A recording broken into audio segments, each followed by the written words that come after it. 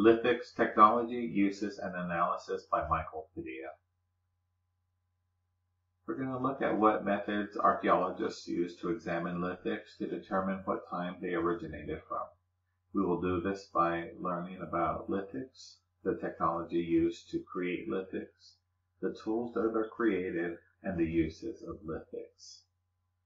We're going to look at analyzing lithics through observation, evaluation, and recovery, discuss the sedentary layer, and radiocarbon dating.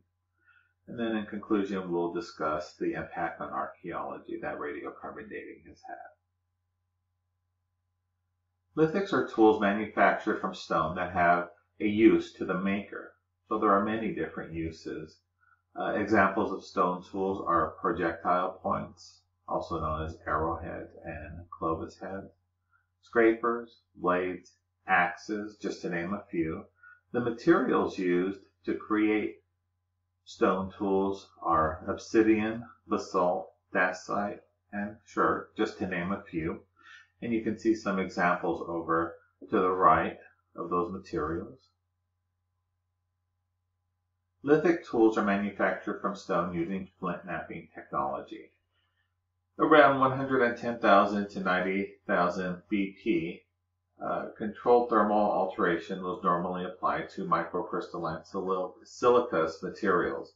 It began in the Middle Paleolithic and was widespread around the world, but in most areas it became obsolete in the early Bronze Age. Uh, the technology flint knapping is striking the uh, striking the core of a stone, creating flakes or blades, shaping the core and flakes into tools. A core is a stone from which flakes were flaked off, and flakes are the thin pieces of stone broken from the core. Blades are longer, narrow, sharp pieces of stone broken from the core. Uh, the uses for uh, Lithics are projectile points, which we discussed before, arrowheads, and uh, clovis points. These are primary, primarily used for hunting and protection. Scrapers are used to scrape hides off animals and can be used for cutting. Blades are used for cutting, and axes are used for cutting wood. The thing that ties all these tools together is nourishment we see the use of projectile points to kill their prey, scrapers to take the hide off, blades for cutting the meat, and then the axes are used for cutting wood to cook the meat.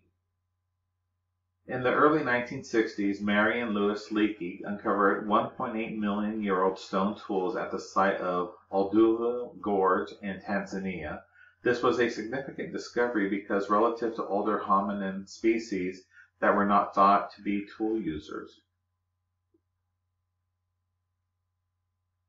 Archaeologists analyze lithics through observation, evaluation, and recovery. Uh, archaeologists walk the field, and here in the southwest, there are many places you can just walk and find lithics laying directly on the ground. Uh, the common lithic found are arrowheads, and remember there are laws in regards to uh, picking up lithics. You cannot pick them up and take them home with you. Uh, evaluation. Uh, it's determined a pit may be dug to determine whether or not further excavation is needed. And then recovery, if it is determined that uh, the, this is a site for excavation, then the excavation begins. The important part is the documentation documenting what we see. Archaeologists do this in field notes.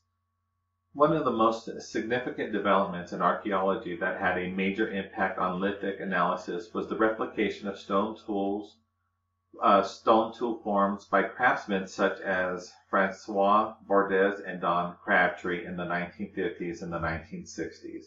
This opened the door to further lithic analysis by archaeologists, and it sparked a new interest. Today, we continue to use the observation and evaluation recovery method, and the important part of that is the excavation of the site, exposing the sedentary layers, and then dating the lithics by the sedentary layer. This is done using radiocarbon dating. There are other methods of analyzing lithics, such as energy dispersive X-ray, uh, fluorescence and laser ablation inductively, coupled pla plasma mass spectrometry. But we're going to focus on the radiocarbon dating as that is the most common method used by archaeologists.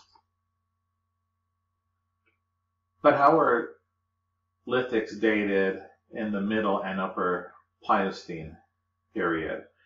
There is a suite of radiometric methods and paleomagnetics are currently employed for dating the sites that are geologically attributed to the lower through upper Pliocene. Common techniques, common techniques include thermoluminescence, electron spin resonance, and optical stimulated luminescence. Howard lithics dated back six, up to 6,000 years. Now, the 60,000 years is the limit of radiocarbon dating, and archaeologists use the stratigraphy, the study of sedimentary layers, to date lithics. Each layer is analyzed for organic materials. The organic materials are used to date each layer. Lithics are dated according to the organic material in each layer. An excavation at 13HA385 produced a total of 1,589 lithic artifacts associated with the late Archaic component and 6,445 lithic artifacts associated with the Middle Archaic period. I put this on there to put it into perspective. It can't be quite a daunting task, and the excavations can be quite intense. Radiocarbon dating can be also known as carbon-14 dating. But how does radiocarbon dating work?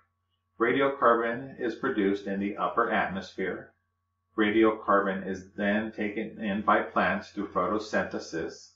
These plants are eaten by humans and animals are eaten, excuse me, plants are eaten by animals and animals are eaten by humans.